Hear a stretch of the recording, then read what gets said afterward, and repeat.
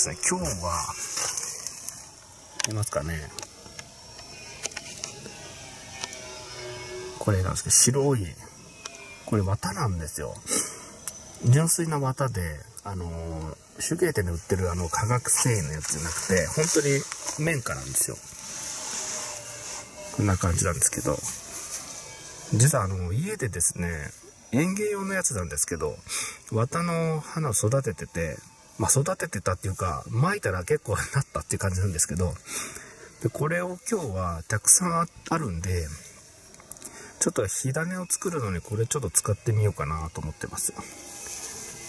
うん。いつもあの、麻の、100均で売ってるあの麻のロープをほどいて使やってるんですけど、まあ、ちょっと面白そうだなと思って今日持ってきました。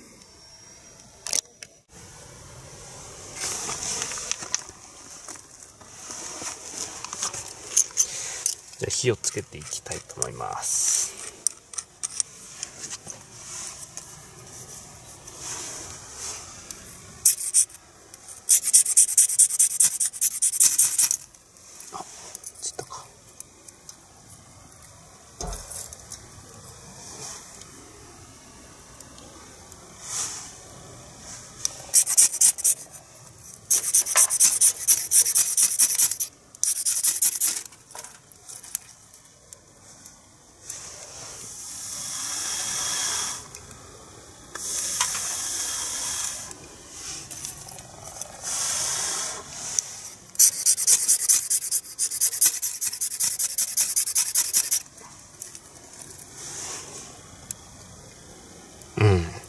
ぱり朝縄の方がいいですね。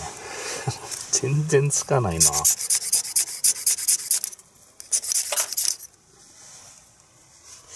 湿ってたかなちょっと。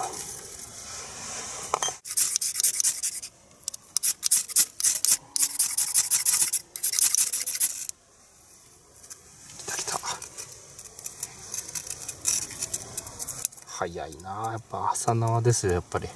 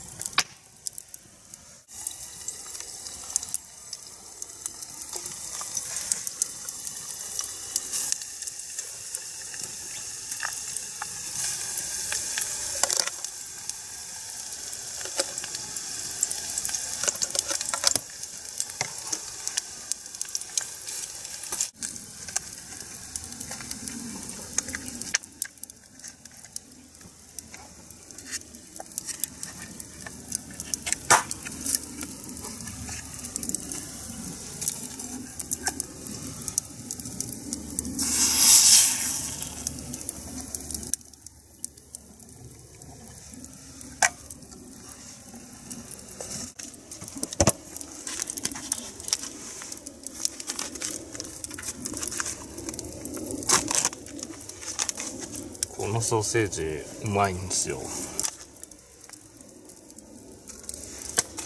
ちょっと高いんですけどね。アメリカのやつなのかな？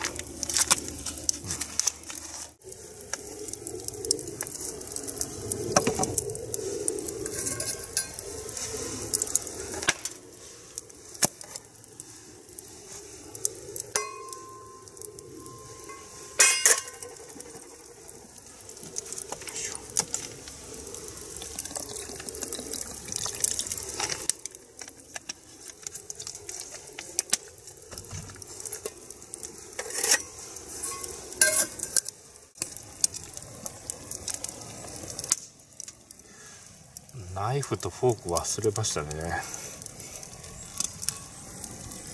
うん。絶対何か忘れますよね。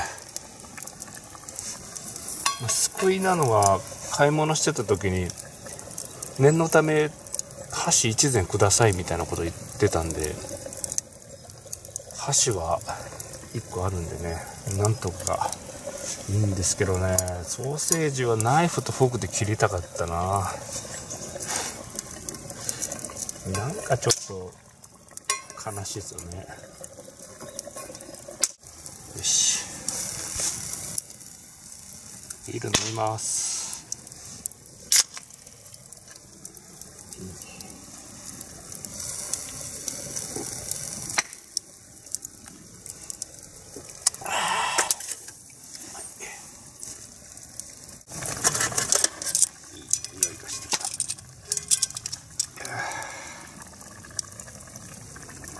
今日はねパンを持ってきてるんでパンをつけながら食べたいと思います。もうちょいかな。ちょい煮込みたいな。蓋開けてから煮込みたいけど蓋開けたら灰が入るんですよねもうに難しいですよねやっぱ。いや今日は4月入ったんですけど寒いし天気がちょっと悪かったから。僕以外の来てる人がいないんですよね。結構広いところなんですけどね。僕一人ですね。最近ずっとソロキャンプをやってるんで人とキャンプした時にどうしていいか悩みそうで怖いんですよね。一人に慣れすぎるとちょっと怖くないですか？まあ、まだ独身だから結構周りが一緒に行ってくれる友達がなかなかこう都合合わないんですよね。まあ、都合合わないというかなかなかキャンプ好きの友達がなかなか 周りにいなくてですねキャンプ好きな人とつながったりはするんですけど、まあ、なかなか休みが合わなかったりしてですねちょっと一緒に行けなかったんですけど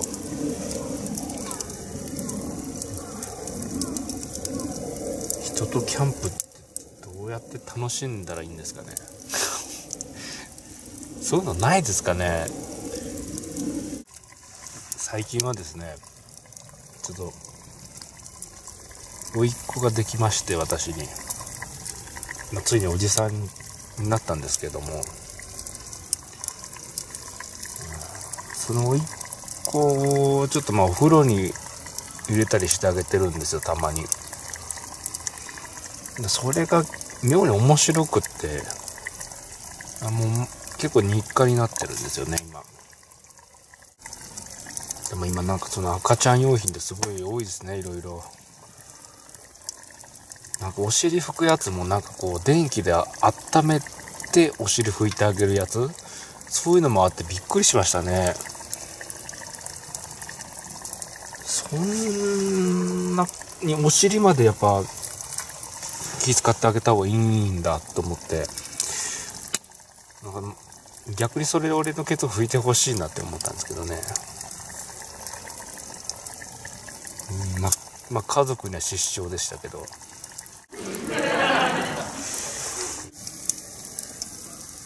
なんか時間がすごくゆったり流れるからいいですね。やっぱり焚き火見てるのは。だからやっぱキャンプ好きなんですよね。か時間がこう早まった時間がゆっくりこう戻っていく感じっていうんですかね。いいですよね。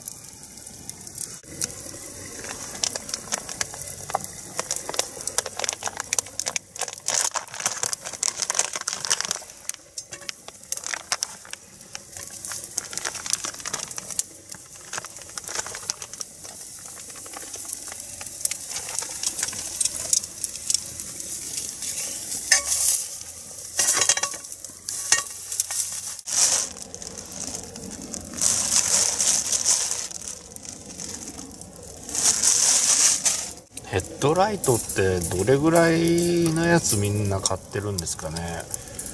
登山で使うやつとキャンプで普通に使えるやつってなんか使い分けてる人いますかね？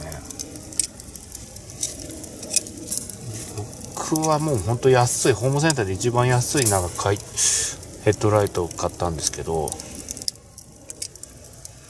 なんかちょっと接触が悪かってつかなかったりついたりとかたまにあるんですよね。だからやっぱりいいやつがいいんだろうなとか思うんですけどまあそんなにこう遠くまで照らさなくてもいいしまあ手元がとりあえず明るくなればいいなとは思ってるんですけどなんかこの辺のみんなのなんかこのこだわりというかそういうのとかって結構みんな違いますよね。どこが一番自分で一いいのかなとか思うんですけど。これ良くないですかこれ。お気に入りなんですよね今。これでワインを飲むのがねちょっと楽しくて。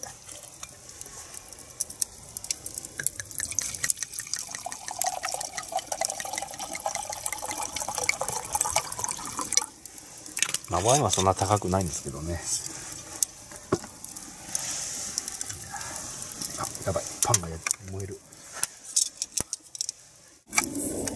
こんな感じですね今日は。ではいただきます。ちょっと不思議な組み合わせですけど。ど箸とナイフを持つなんては初めてだなこれ。これ見て。あこれフォークで刺せないからな。見えますかね？チーズがねこれ入ってるんですよ。だからあもう切っちゃうか切っちゃうか切っちゃうかほらチーズがね、ドバッと出てくるんですよ。ね美味しそう。これね、いろんな種類があるんですよ。ブラックペッパーが結構効いてるやつとか、あとなんだっけな、ハーブがいろいろ入ってるやつとか、ちょっと白いやつとかね、いろいろあってですね、結構いろんなの試して食べてるんですけどね。い。ただきます。うん。これだもの。うまい。うん。ソーセージ自体はねそんなに癖がないのかな。うんななんだろうな。それよりなんかチーズが引き立ってる感じがしますね。このパンをねつけて。うん。完璧。これどうどうしようかなこれど。絡め取って食べるしかないもんなもう。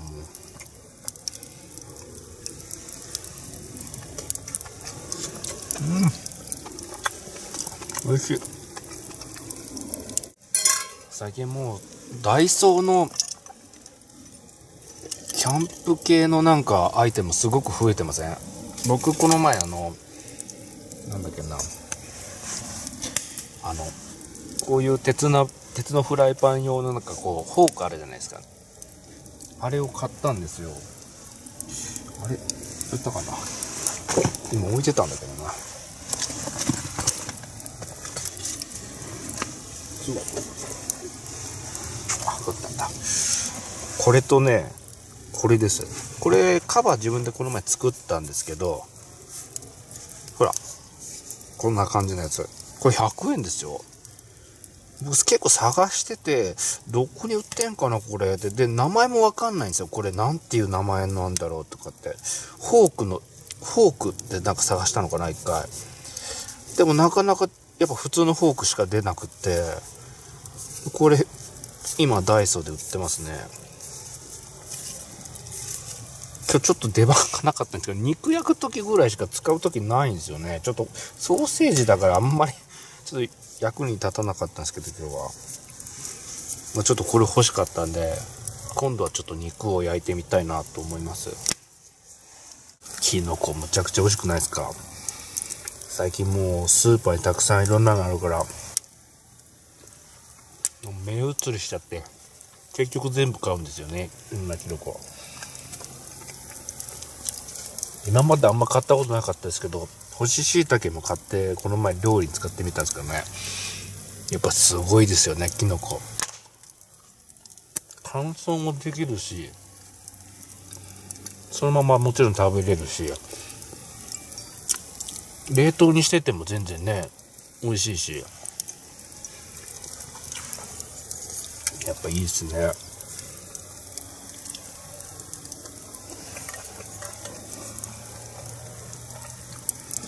またこれからキノコも取れるようになってくると思うんだよねたくさん。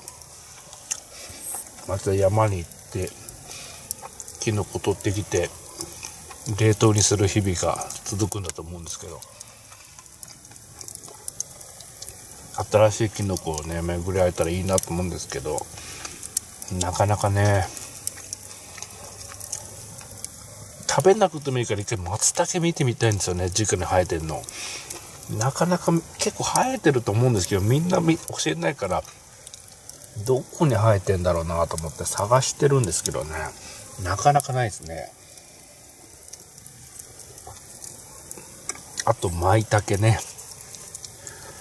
舞茸天然の舞茸はかなり美味しいらしいですからね。香りがすごくいいと思うから。シンプルにバター焼きでもいいしそのままでもいいかな。醤油とかつけずにね。